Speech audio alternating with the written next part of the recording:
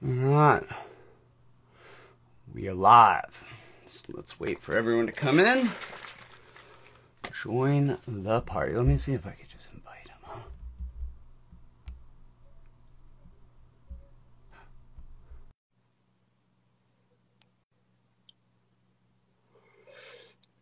What's up? What's up? Welcome, guys. We're just about to start the interview. Hey, nice. You got on quick.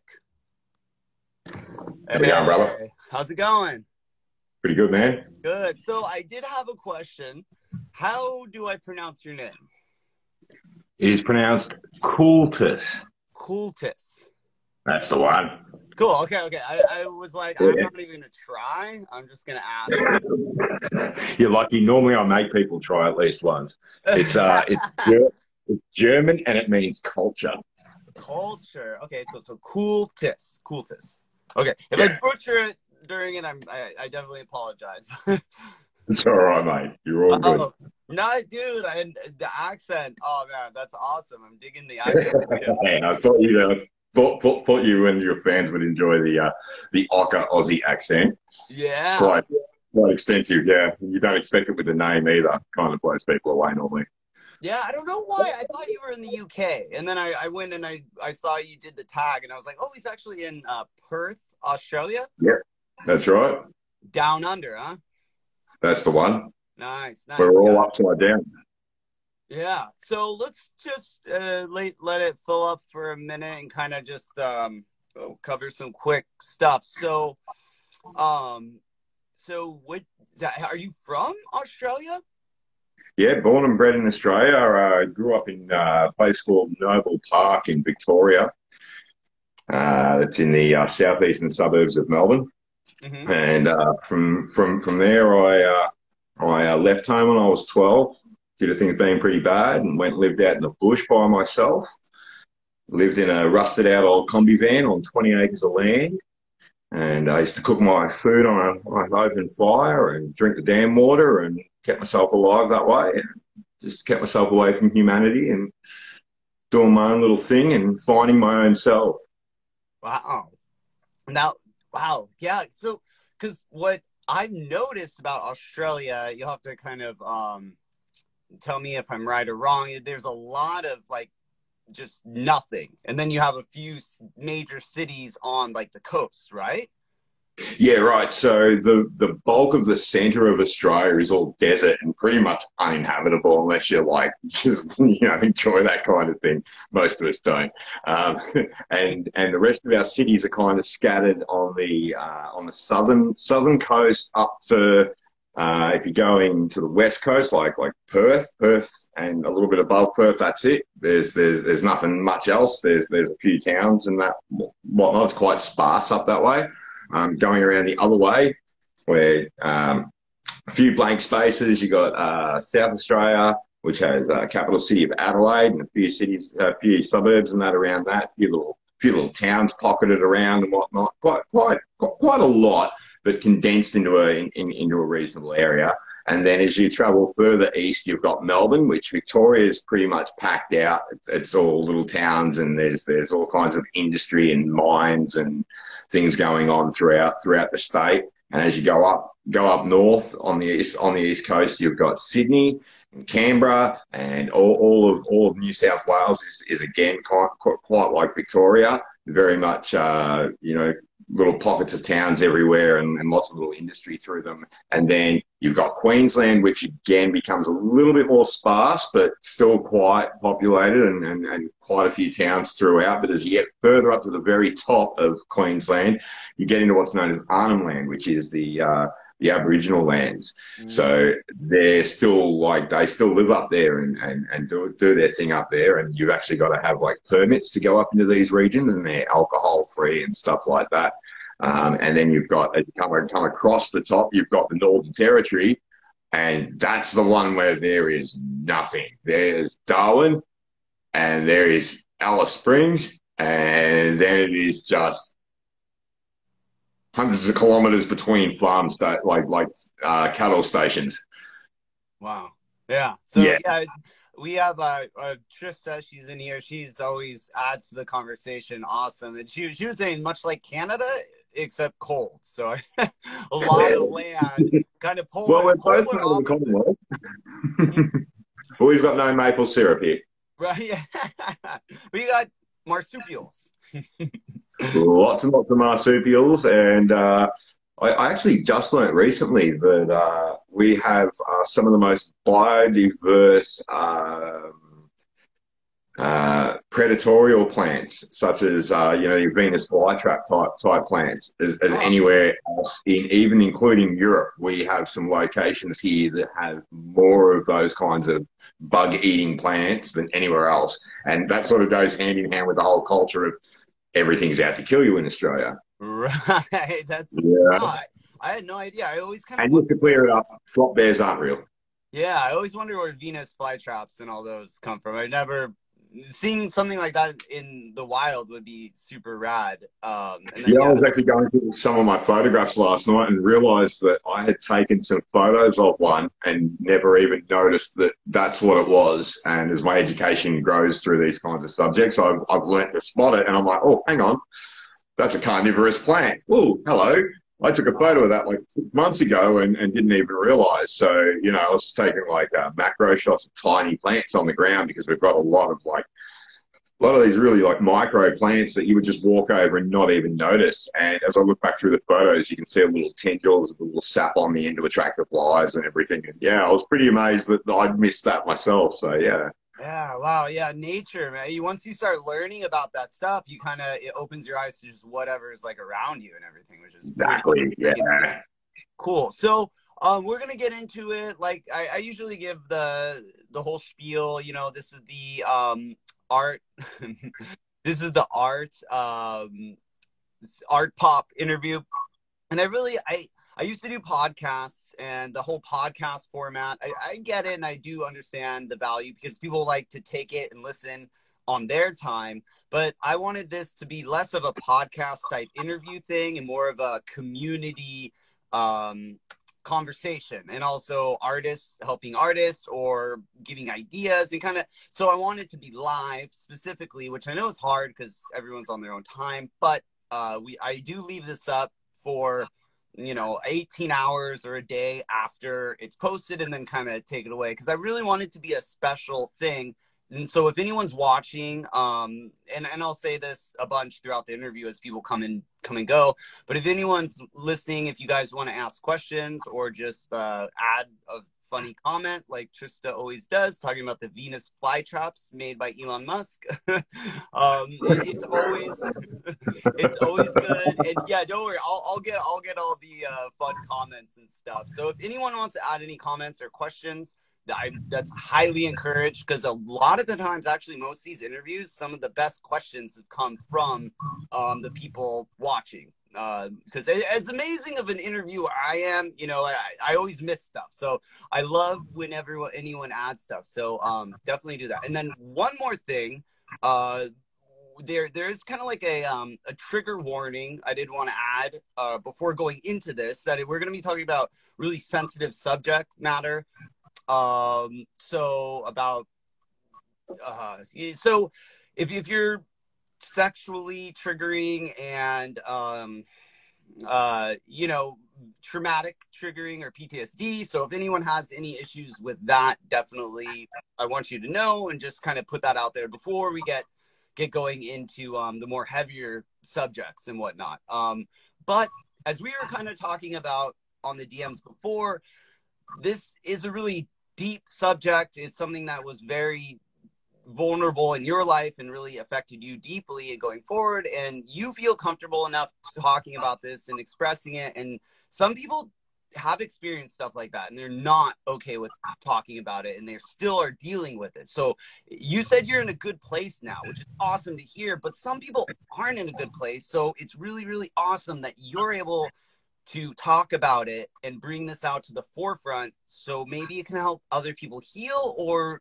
teach them to use some sort of coping mechanism going forward. Exactly. That's what we hope. Yeah, well, we're gonna start a little lighter, and then we'll we'll get into it. And like I said, I might have to if if more people hop in, I might have to do another trigger warning just to just because I don't we don't want to you know get, you know cause any PTSD or something. So I first sure. we kind yeah we kind of got met last, I think it was a week or two ago, you were in one of the live streams. We were talking about stuff, and um, you post a bunch of poetry and writing. So let's get into that first. Um, when did you really start posting your writing? When did you start writing and then posting it online? Right. So this was a little interesting for me because I uh, I this was going back about 18 months ago. I actually started to post my works online, but I'd done a very good job of keeping it away from my personal life and my friends and that because of the depth, because of the stories I was telling through my poetry.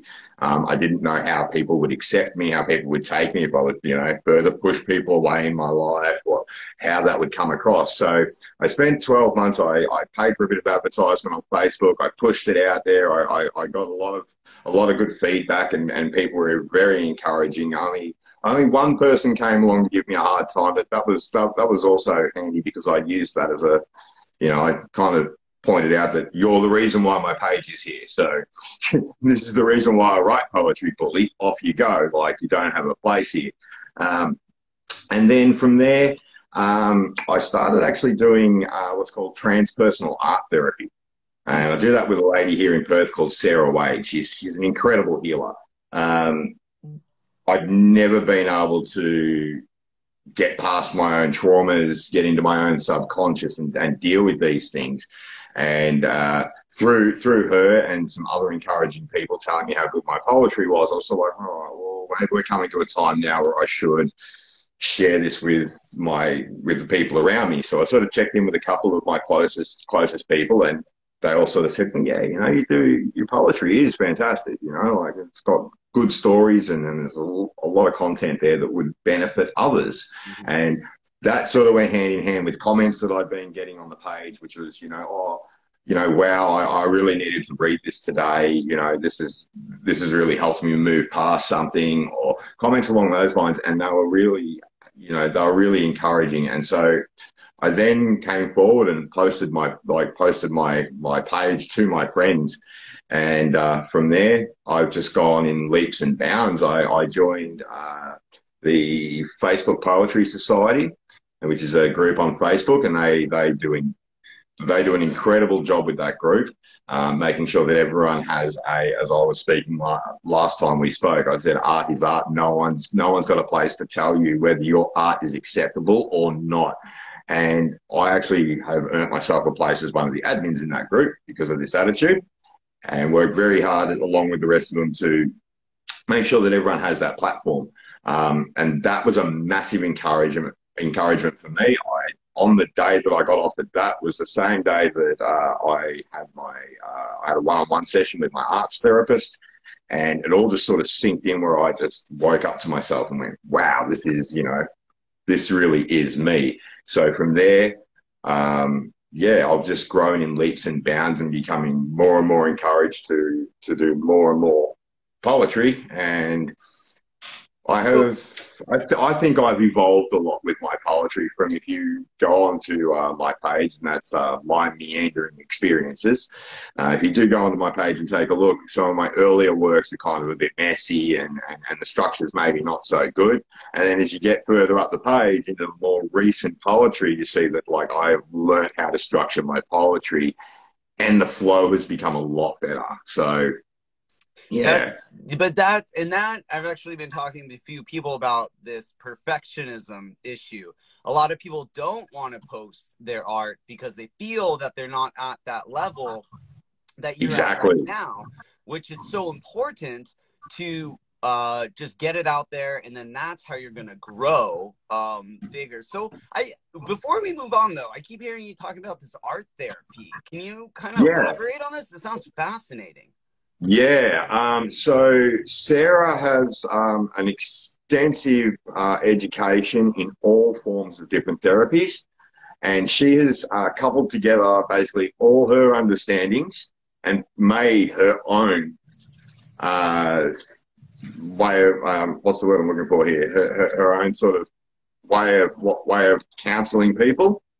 And we sit down and it's quite interesting. One of the first things we do on every session is we'll sit there and just play with Play-Doh and, and, and just squeeze it in your hands, you know, and, and from that, as she's talking, your subconscious just seems to open up. And before you know it, you're like creating things and you're building things and then you don't even know what you really made and you sort of reflect back on them. You're like, oh crap, that's what I've made. Like that pertains to this story in my life. Like, and you don't mean to do it. Like you haven't consciously done anything. You just, it's like a, almost like art meditation.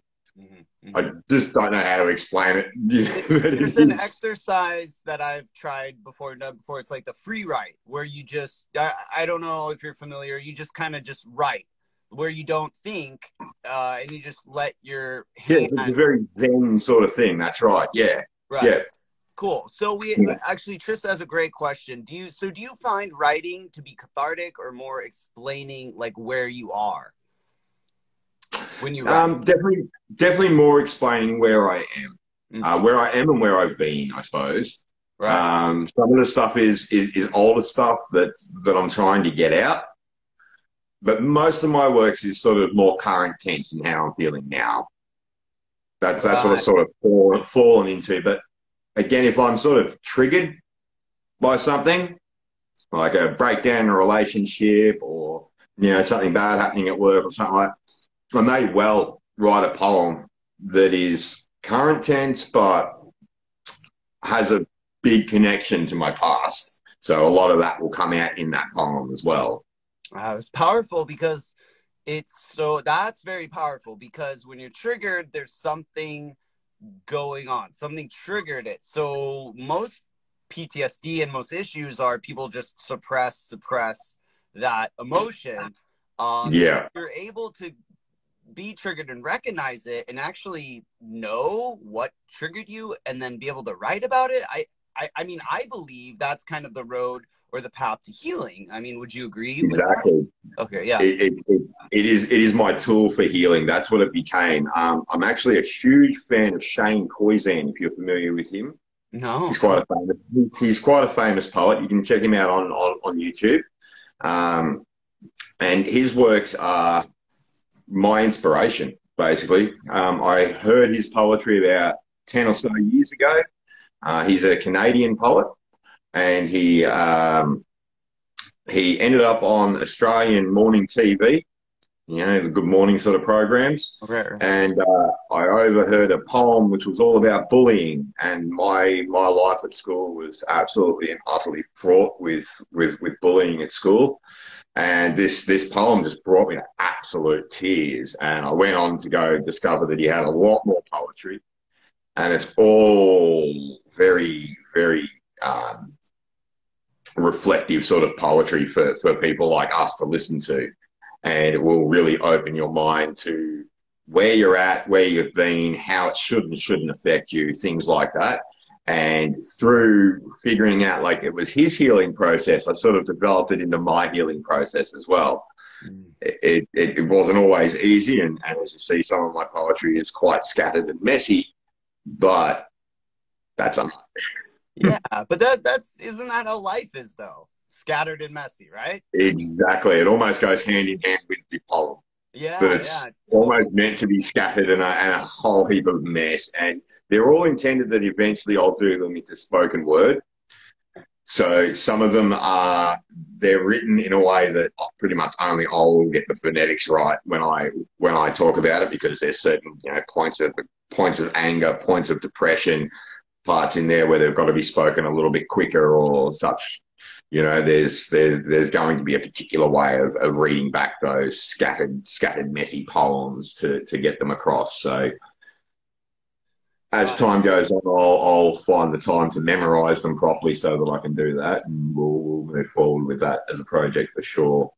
So, I, which I've started to do now, actually. But yeah, I forgot exactly the words you said. I, I I wanted to ask it though, but I might butcher it a little bit. Um, you said something about uh healing, healing, and then kind of like like not you know not re-triggering re-triggering yourself. So how do you find that balance in writing or even any type of art creation that someone's going to try to do healing? how do you find that balance of healing and expressing yourself and trying to you know uh, heal but not re-triggering yourself and going down that dark spiral. Do, do, does that make sense? How do you find it that does balance? it does it does but um, the the actual answer is sometimes i can't.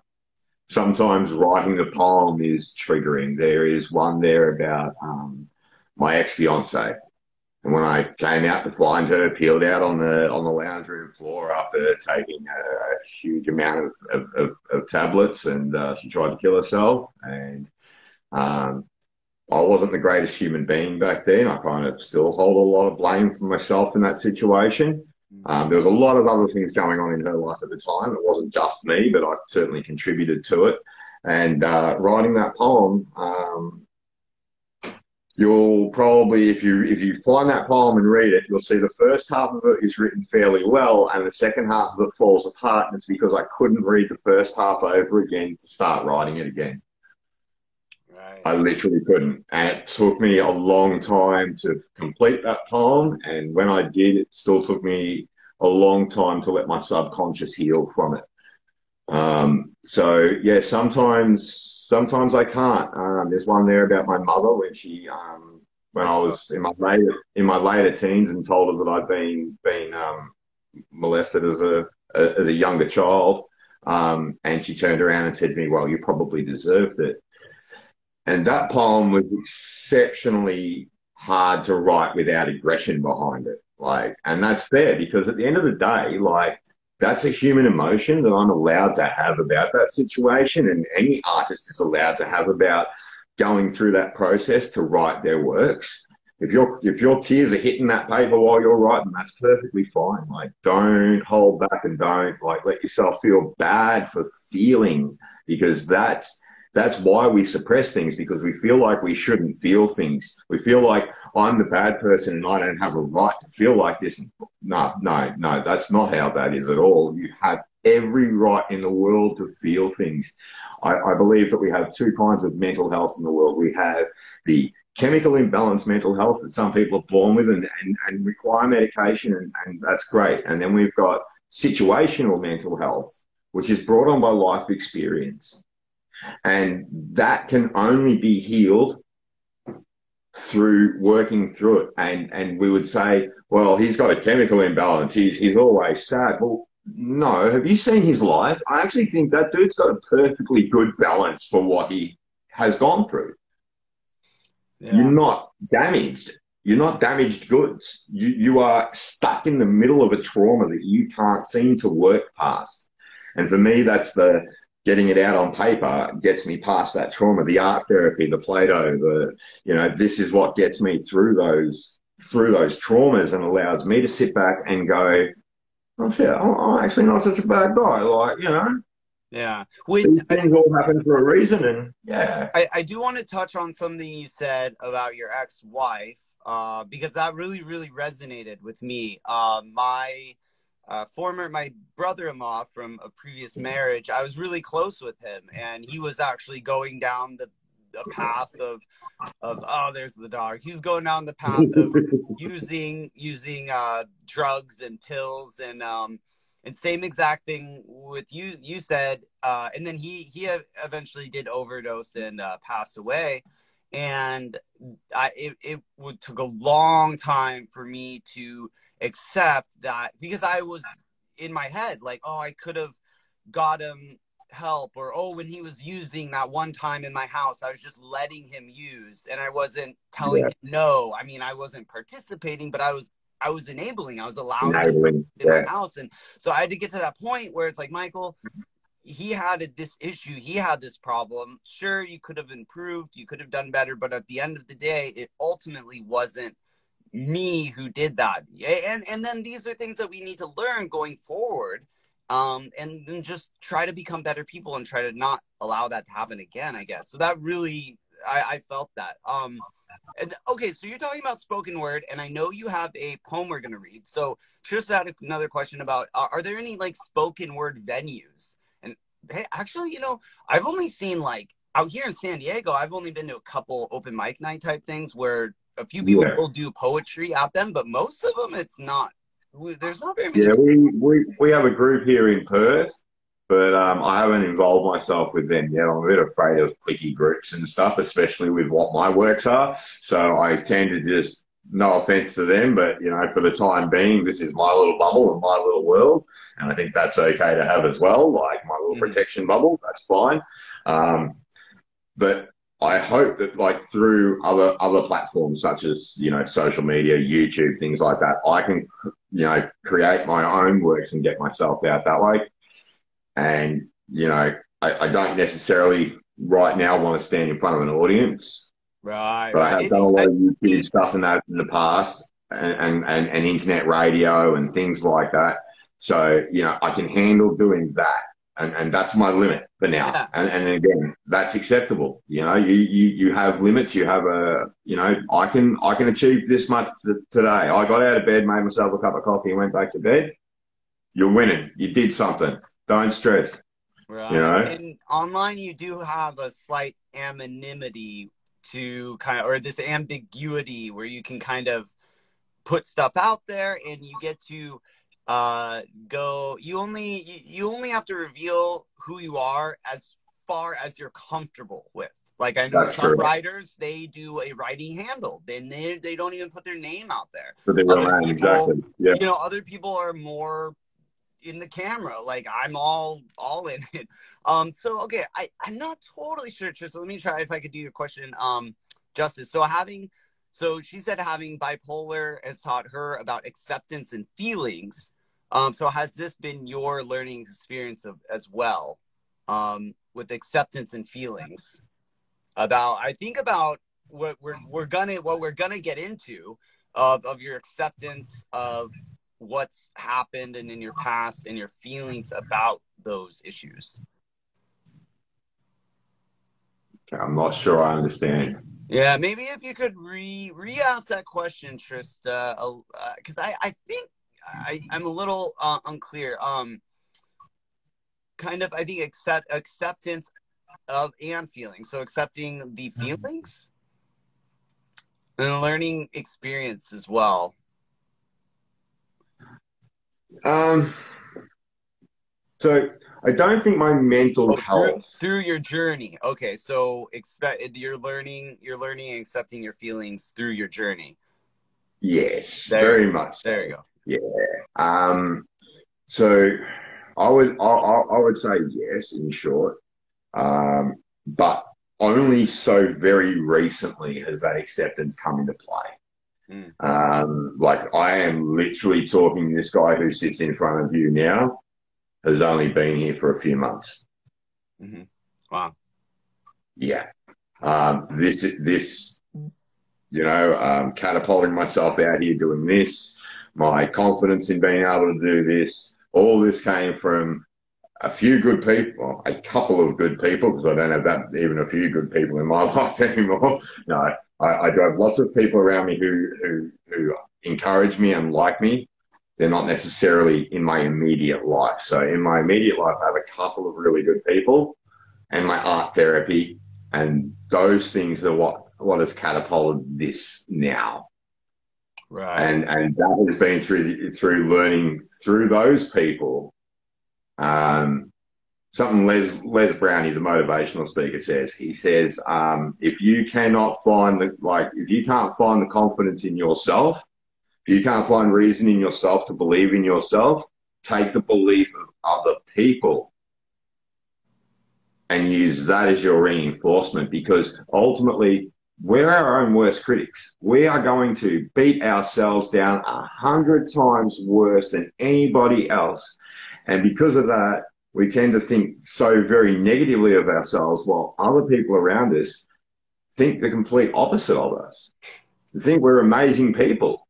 Yeah. And yet here we stand twiddling our thumbs going, yeah, but I just don't, I don't understand. Like I'm, I'm, I'm a horrible, but I no, no you so really not. That's so right. That's, that that goes with everything. That goes with personal life, with your who you are as a person. I mean, I think in general, and also with creation and creating art and creating writing or music, whatever you're doing, eh, you're always your worst critic. And getting over yeah. that hump is that once you're able to get over that hump and realize that, what you just said, then then it's so powerful. Then you can really really create and, and uh, move on. So speaking of creating and writing, I know you have a piece you wanna you wanna read. I want to hear. It. Let's do that, and then we'll we'll get, Cool. So get a little deeper. Yeah.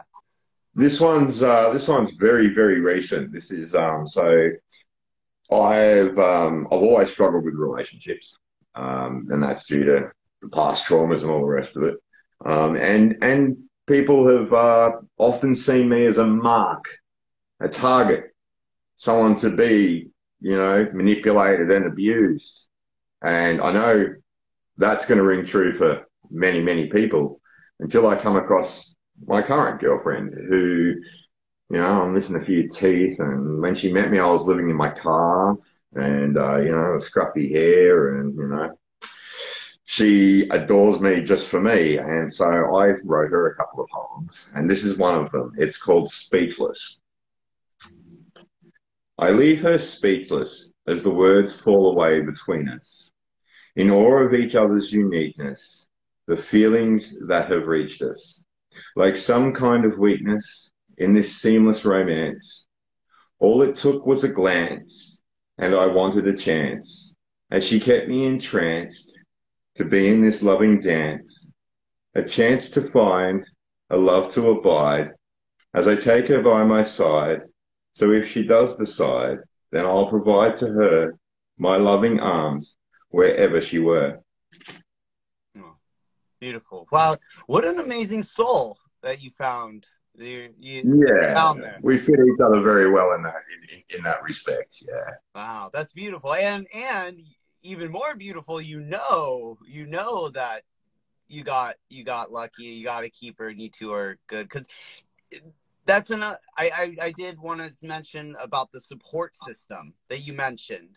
You have a few people that have been really strong support systems, and I think with obviously your current girlfriend and a few other people that you said you have a few close people. So how important is it to have a few really strong support system or support people in your life when you're going through these things for other someone else who may not have anyone else what can they do if they don't have anyone It's like a it's like a prerequisite to hitting on this topic is to mention that we have to heal ourselves just a little bit and at least be able to interact with other people with respect and politeness. And a lot of us who have who have trauma based based problems, we find it very hard not to press these onto other people sometimes.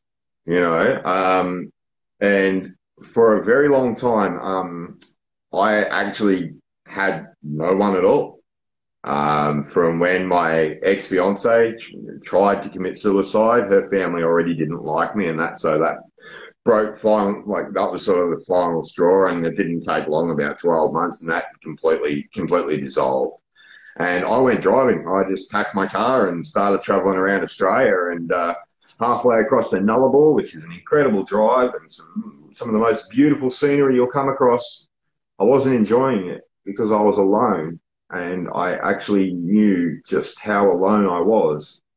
My father had passed away. My mother and sister were both like uh, narciss- narcissistic and, and very cruel to me growing up. So there was no family relationship there. Um, my cousins had done some bad things in the family, so that wasn't an acceptable, you know, group of people to have around me. And and looking back, what I did was I removed all the bad people from my life, but it left me lonely. You know, I was completely and utterly alone.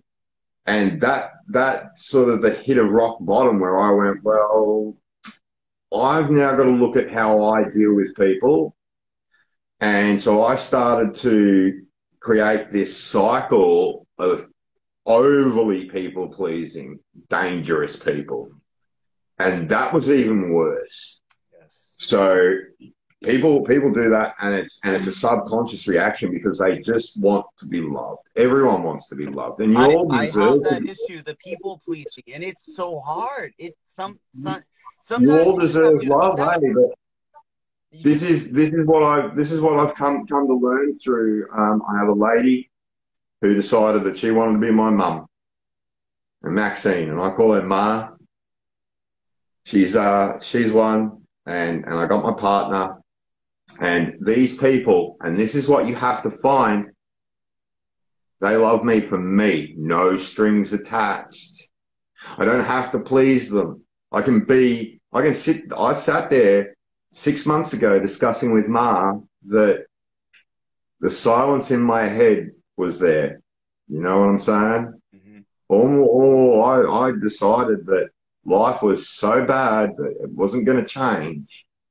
And this was the cycle and I couldn't break it. So we sat there and we just kind of said, you know, look, for me, like, you know, I say like, people, if, if someone's not enjoying their job or, you know, an activity they're doing, we don't force them to continue, yeah. you know? So here I am, I'm like, I don't want to continue.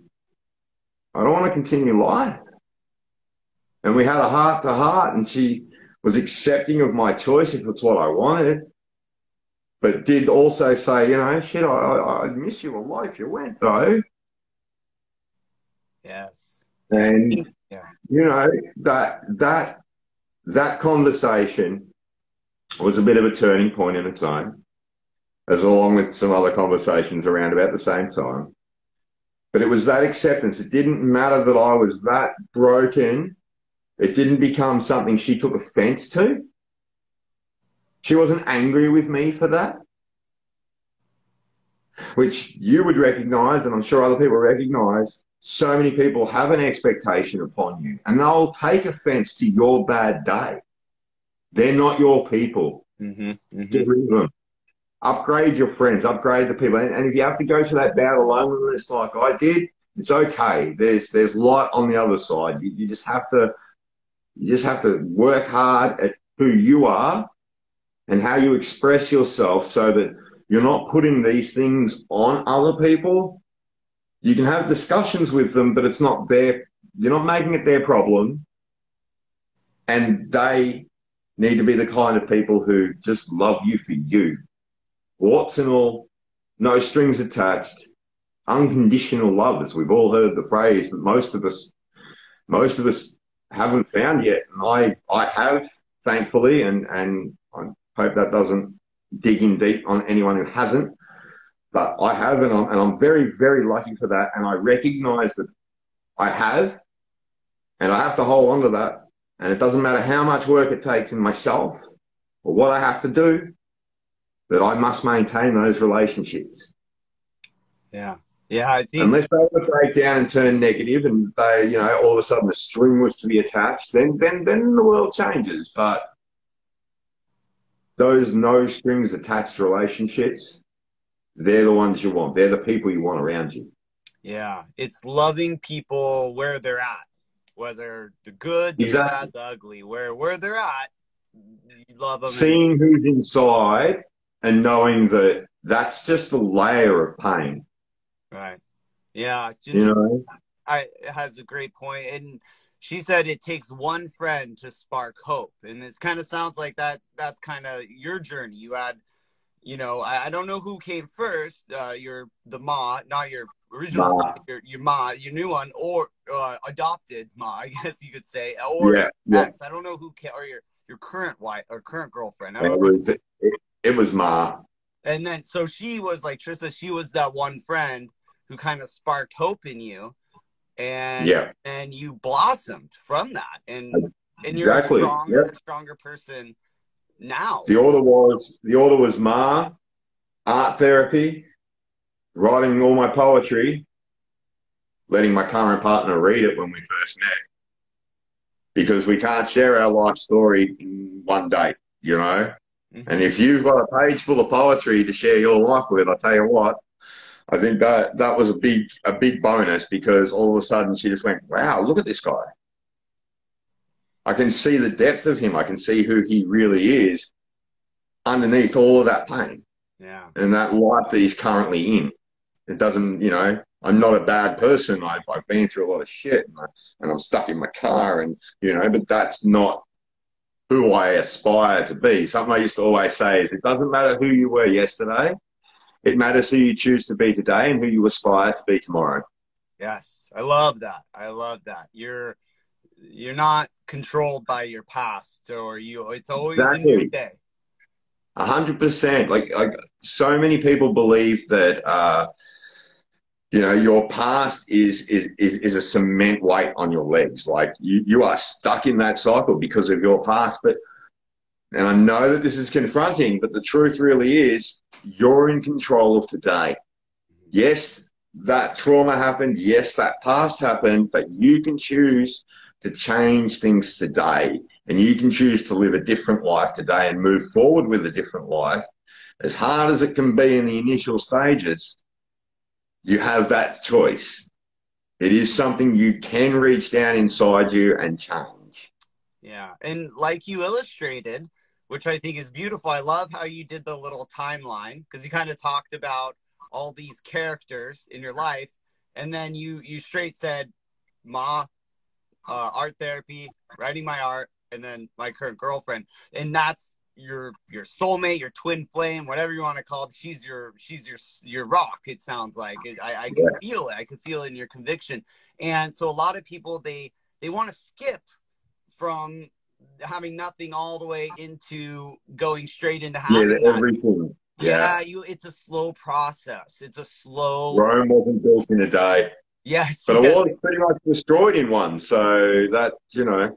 You're right. Oh, you're right. Yeah. Always important to remember that you know you can build yourself up and you can have a hundred great things happen, and this is where it's so important who you keep around because it only takes one jackass to mess up something for you and bring that whole world crumbling down for you in that instant.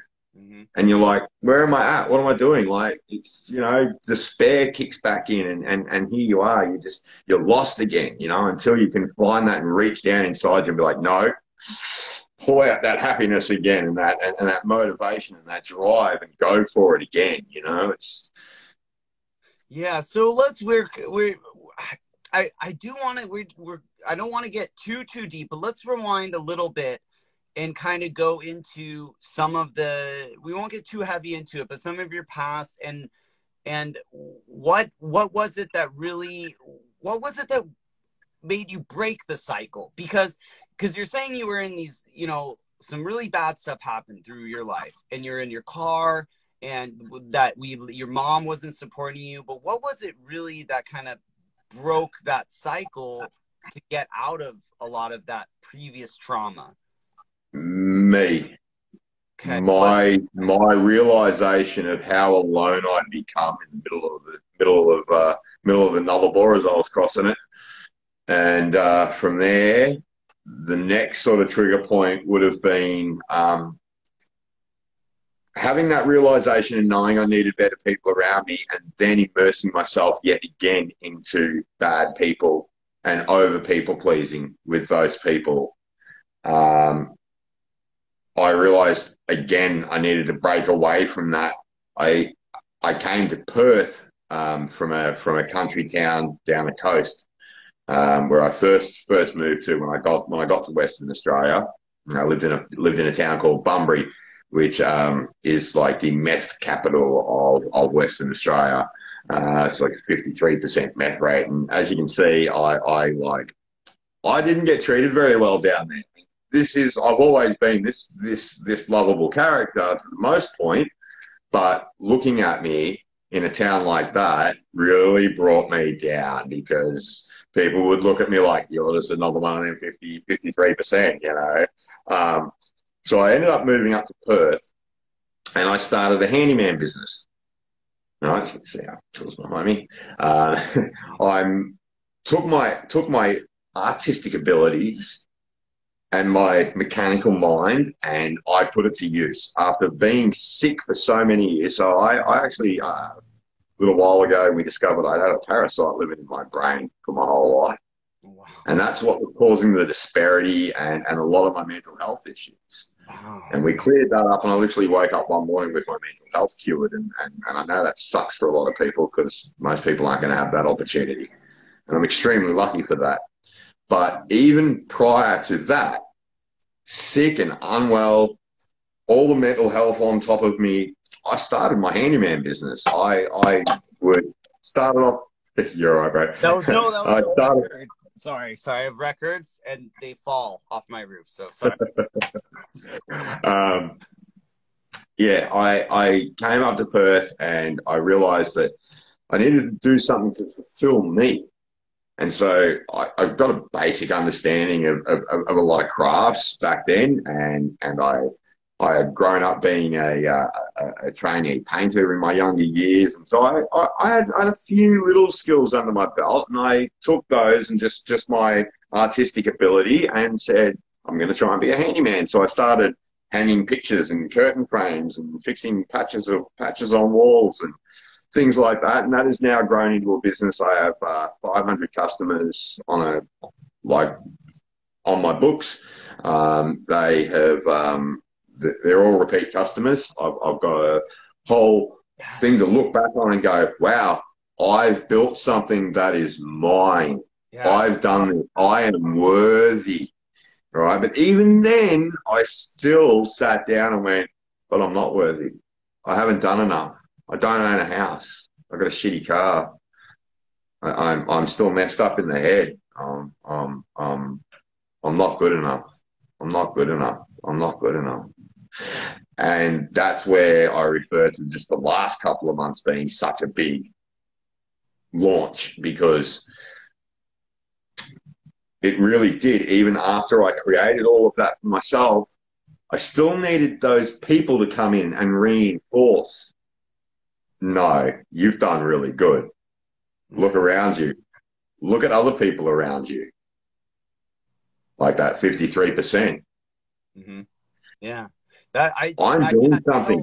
I had no idea about your small business. I'm like, I'm on a kick all about that. That is, that is amazing. I'm all about people if you're not happy in your job, like, you know, create one and do what you love and that and now you have all these skills so we are kind of got to wrap up here um, but before I, I want to have you read another poem or something uh, on our way out. Oh, then, I didn't prepare another one. Oh, you don't have? Okay, well, well it's okay. We'll no. talk about your socials. But I have a question. Another question for Patricia. This is this is a great a great question to kind of uh, wrap up the main part of the interview. Uh, so and I think this is so poignant for everyone who's gone through hard and difficult things in their life.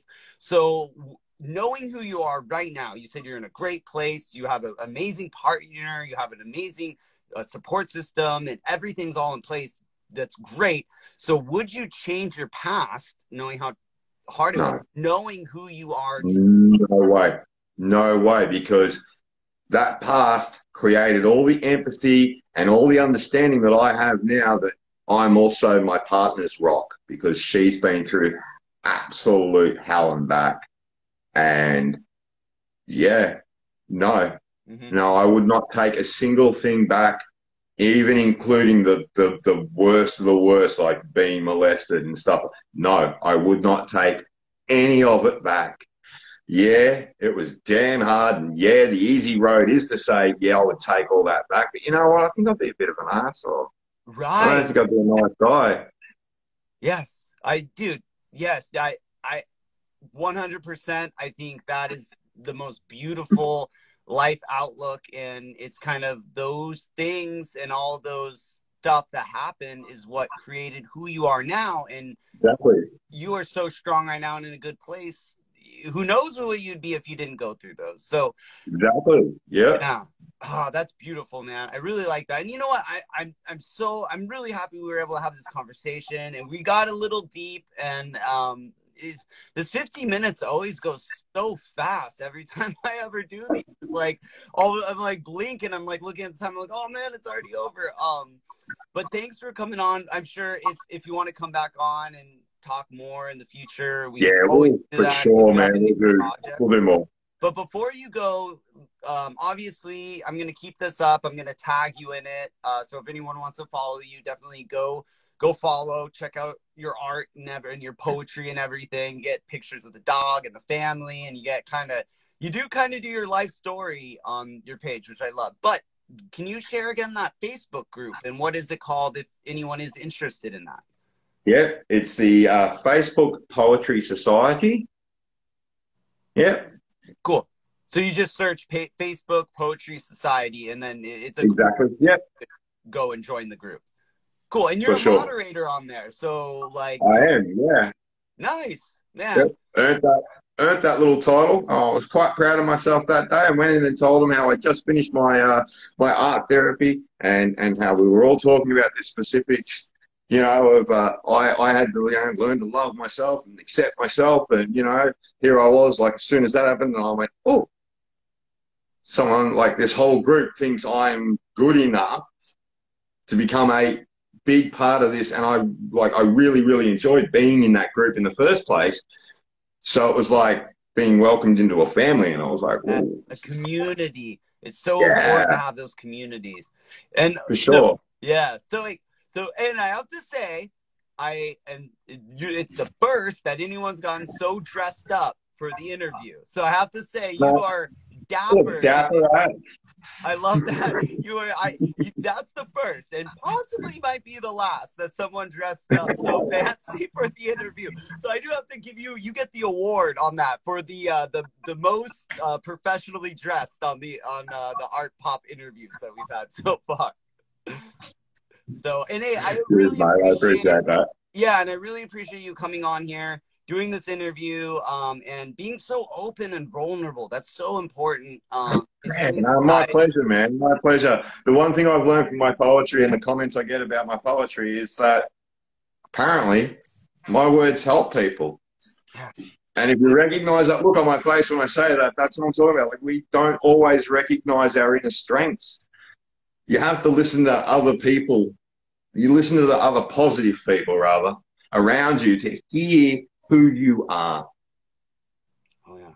Don't listen in here. This thing's full of it. Yeah, yeah, it, and have that All right. and build that. We're all worthy. Yeah. Well, hey, Klaus. Kultus. Cultist. Oh, damn! I went the whole time without brutalizing it, and then I, I should, I, and then I was gonna try, and I, of course, I just did. I had to. So, cultist. So my partner still gets it wrong, bro. Don't feel bad. Oh yeah. Well, thanks, corner and giggling. thanks so much for joining us from the future, because you're like Yeah, mate. you're a whole day ahead. So Yeah, um, it's uh, like nine o'clock. Oh, is it? Yeah, nearly nine o'clock in the morning. on the. Monday. Yeah. So okay, cool. Yeah. So so Monday we're still we're still good. Okay. So I I, I know the future's good, right? Because you're Yeah, yeah, yeah. The sun, the sun came up, bro. It's okay. Okay. Cool. All right. So I know the sun's gonna come up on my tomorrow morning. because you know you're in the future. I'll message you this afternoon if anything changes. that was one of the fun parts. Like, okay, we gotta coordinate the time, and that's always weird. I'm only usually doing East Coast, West Coast. So I was like, ooh, this is a whole nother level with the Australia. Yeah.